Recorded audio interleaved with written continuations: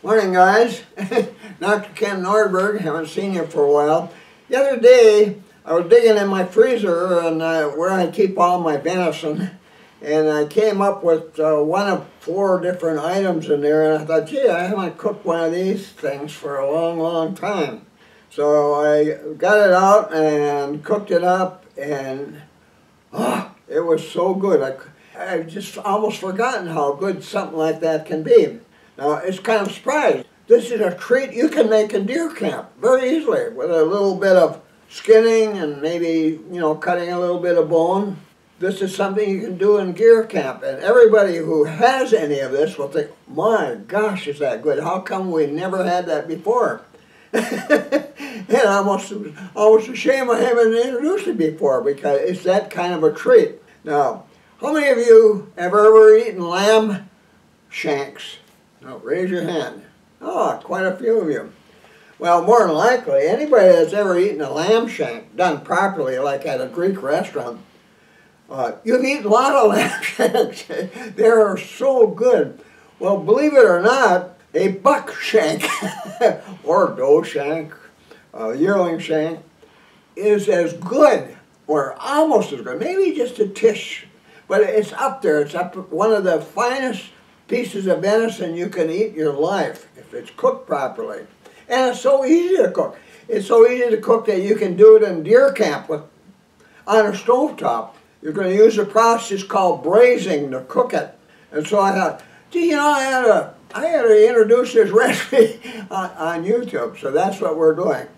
And so uh, in a few minutes we'll get up to the oven upstairs and start putting this together. And it's simple, except there's a list of spices and ingredients. And uh, when you're watching this video, you might want to keep a, a piece of paper handy and write these things down. Now, I hardly ever measure anything. You know, I've been a cook all my life.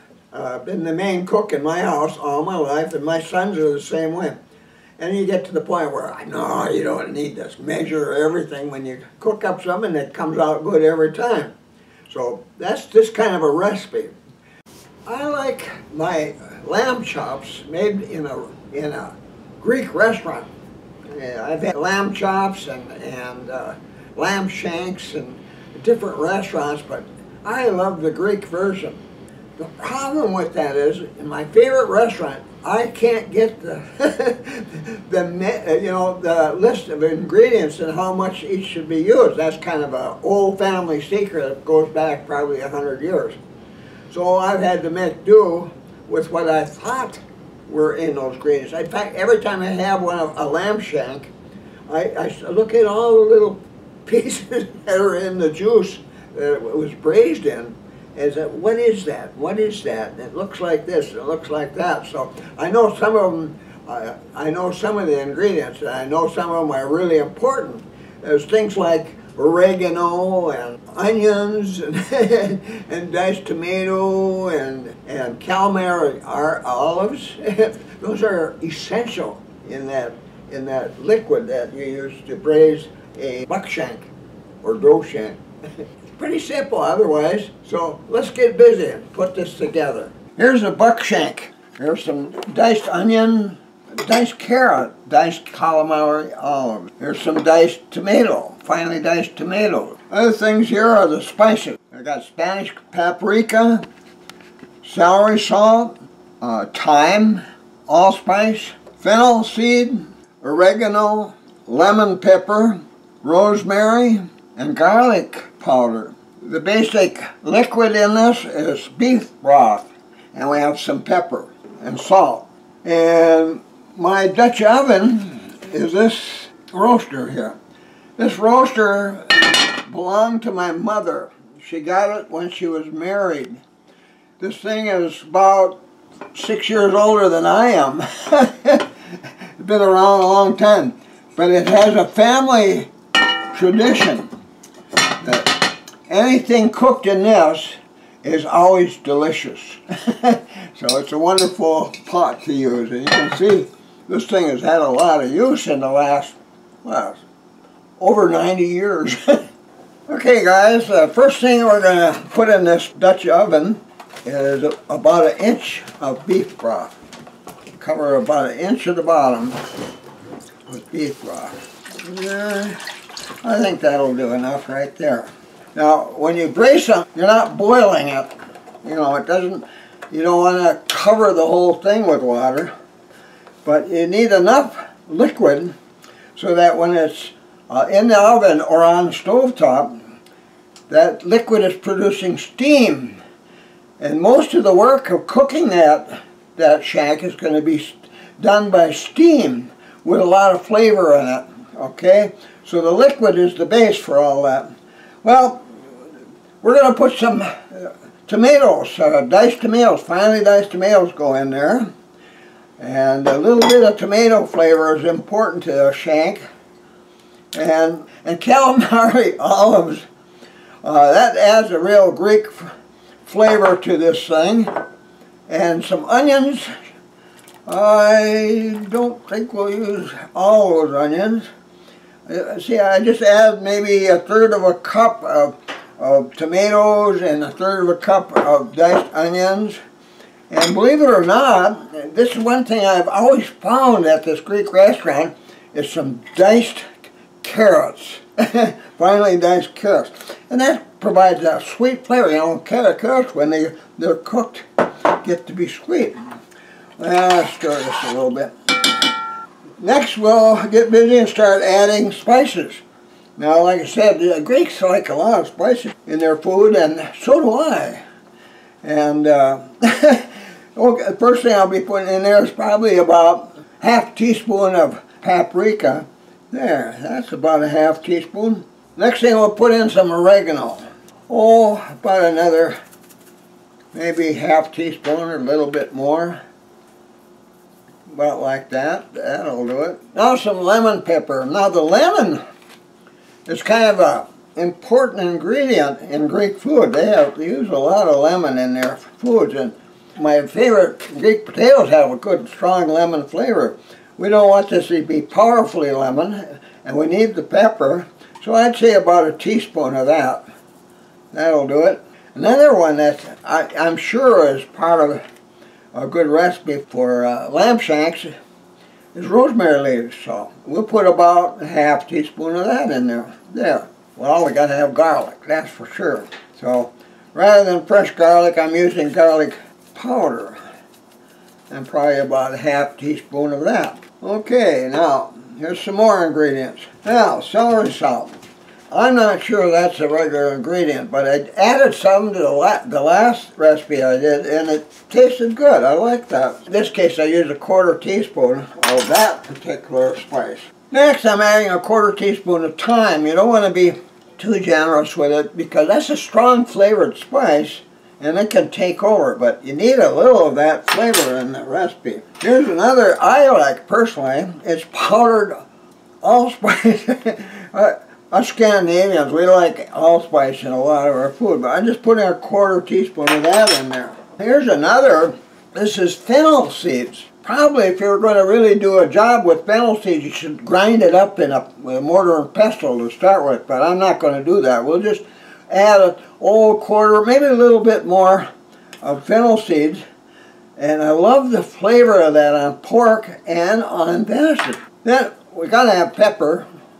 So we'll add some fresh ground pepper to this thing.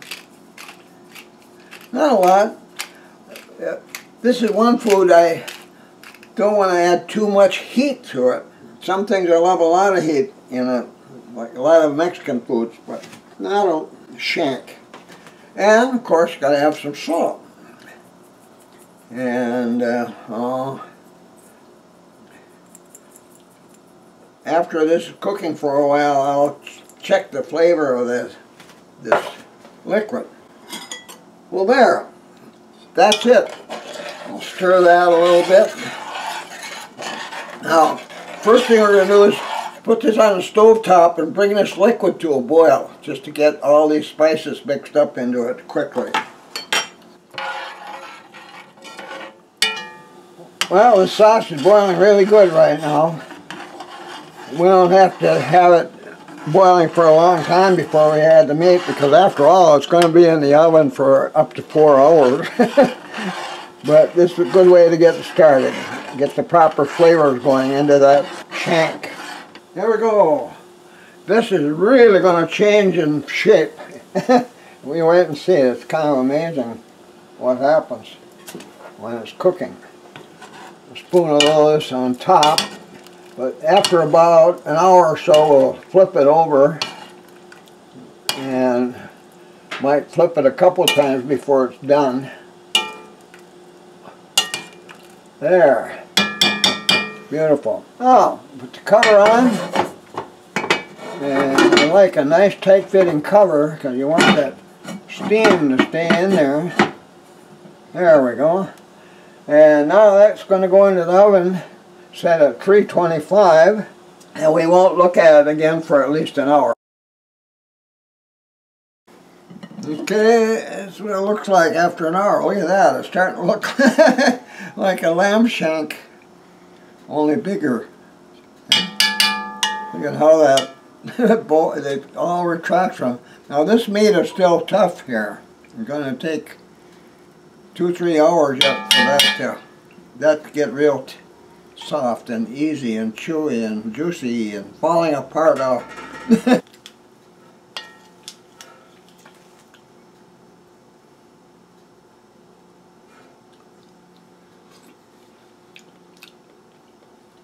good. Doesn't need salt.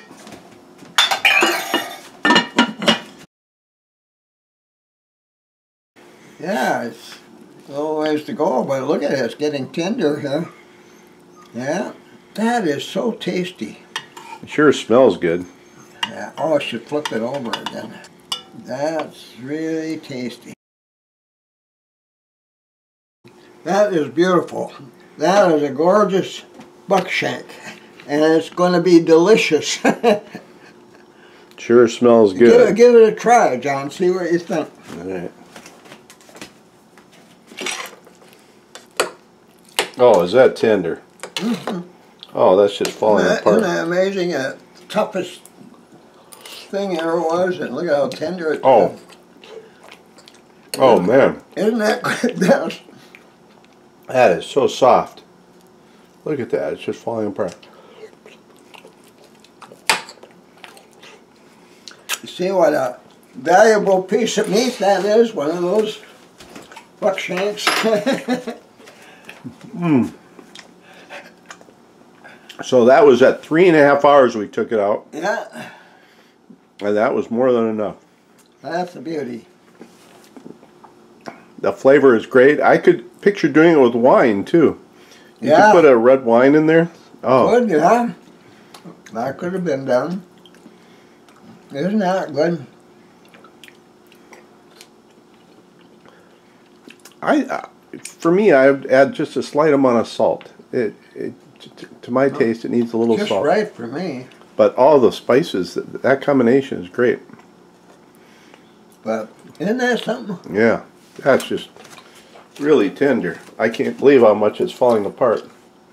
That was the it's toughest. Falling apart, juicy. Yeah, toughest, toughest meat in the deer. And look at them. Yeah.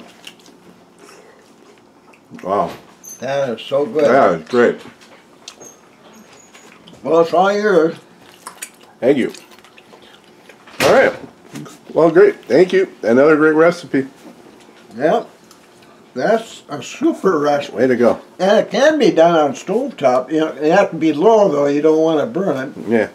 But it can be done on a stovetop in deer camp. Yeah. All right. Cool. And that's something. Yeah. One more thing. That 10th edition of my Whitetail Hunters Almanac is loaded with good things to know. Now, if you don't have it yet, uh, you just got to get it. And I want to thank you guys that have already been ordering, and, and it, it, just makes me feel good to know so many guys are taking advantage of learning what I have to teach them. And I, I thank you for all the orders and all the nice letters I've been getting from people who have got the book earlier and started to learn how much better whitetail hunting can be and buck hunting by learning what they've learned in this book. Get that book soon, you guys.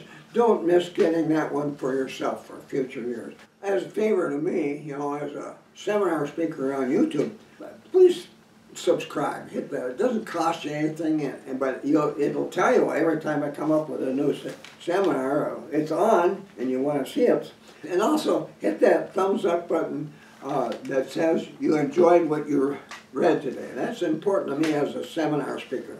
So with that, uh, thanks again, guys, and I'll see you again soon. Be sure to visit my website. Here's the link. Here you'll find links to my blog posts, my Twitter account, my YouTube account, my Amazon store with links to my ebooks, my son's eBay store, a money saver if you're ordering from Canada or other countries, my website bookstore, and much more.